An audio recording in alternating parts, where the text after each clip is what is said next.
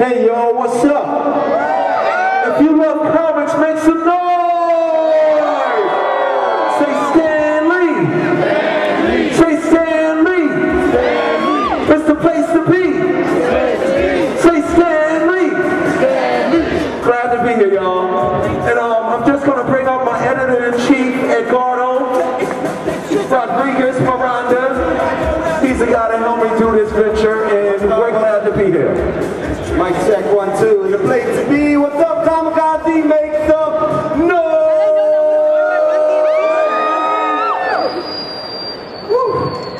as some of you know, uh, there's this guy, Kevin Smith. You may have heard of him. Um, way back when, in the late 80s, early 90s, I worked at Quick Stop convenience store with him. And I was very into heavy metal. And he was very into hip hop. And he told me, you gotta listen to Run DMC. And uh, by then, the, the, the Aerosmith thing had come out, and I was like, all right, I'll, I'll give it a chance. And once I heard it, I was what many people would call a metal poser. I could not believe how much I loved it and still loved it. And, and still love it. I mean, the, the, the dude is amazing. I, I met him for the first time during the, during the show this year, and uh, I'm, I couldn't be more honored to, to moderate this panel. So we're going to ask him questions, and this dude can talk. This, this dude can talk. So, so you make one question and one answer. I'll, I'll, I'll give you the edited versions to the answers. Right. So we're, we're doing something called Weave. This is a, a new app, I guess, right? This is a new app, and people have sent in Yes. questions from Weave. And uh, the uh, Tiffany asks, "You've mastered the music world," which I agree with. So what's up with comics? What is your inspiration? Well, um, before music, before hip hop came over the bridge and changed my life, uh, before AM radio, listening to the Doobie Brothers and Bob Dylan and Jim Croce and Harry Chapman and the Beatles and the Stones, my total existence was comic books. And I was a little shy kid that stayed in the house, straight A student, five and six stars on the forehead, always on a on a roll. I went to Catholic school my whole life. So when, when I wasn't in school, I had to keep myself busy. And my whole existence was comic books. And when I got into music, I never, I mean, you might not believe this, I never wanted to get up on stage in front of people.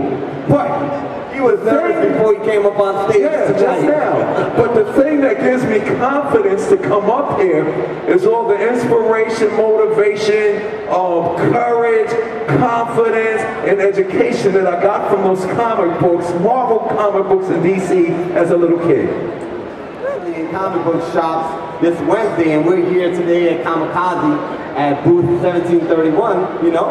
And, uh, and how we got to this point is, like I said, um, I was a little kid. DC was cool. DC had Gotham and Metropolis. But the good thing about Marvel Comics was that I was a little kid who lived in New York City. My parents weren't disciplinarians, but they were very strict. I was one of those kids that had to be in the house when the sun was going down. So I used to have to find things to do. So Marvel was cool because I'm this little kid who lived in New York that couldn't go nowhere. So Marvel Comics showed me all these places in New York City that I heard about. And then for 30 years, you know, after reading comic books and trying to draw my favorite superheroes, I picked up the microphone and the comic books wasn't put in a closet away. It was consistently there when I would write my rhymes, when I would get up on stage, when I came up with my name, when I came out with my look and everything. But for 30 years, I traveled the globe and people would come up to me and say, DMC, I got this hip hop comic book.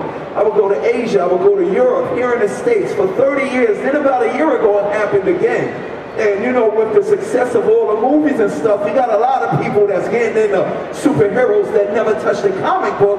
That's like saying you're a DJ and never touched a turntable. But to make a long story short, I sat back and I said, why don't these hip hop comic books ever be successful?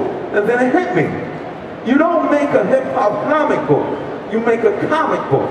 This comic book isn't a hip hop comic book. It's more of a tribute and a celebration of everything that makes comic book culture enjoyable.